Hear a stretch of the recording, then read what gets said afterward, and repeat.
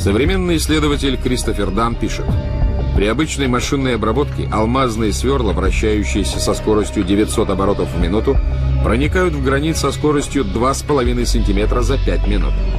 Скорость подачи современных сверел таким образом составляет 5 тысячных миллиметра за оборот.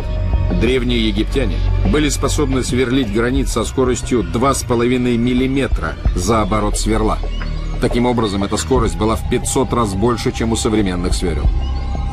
Даже сам по себе этот факт просто поразителен.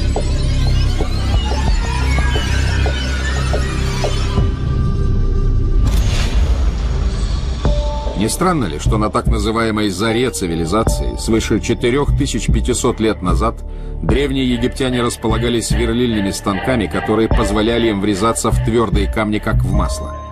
У Петри не было объяснения этой загадки. Также не мог он объяснить, как